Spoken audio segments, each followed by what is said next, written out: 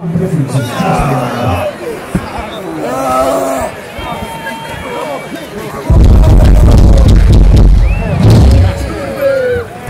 thank you.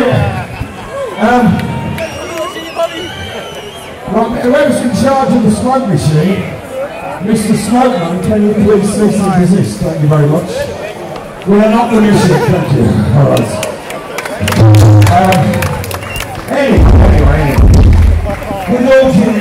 That means nice.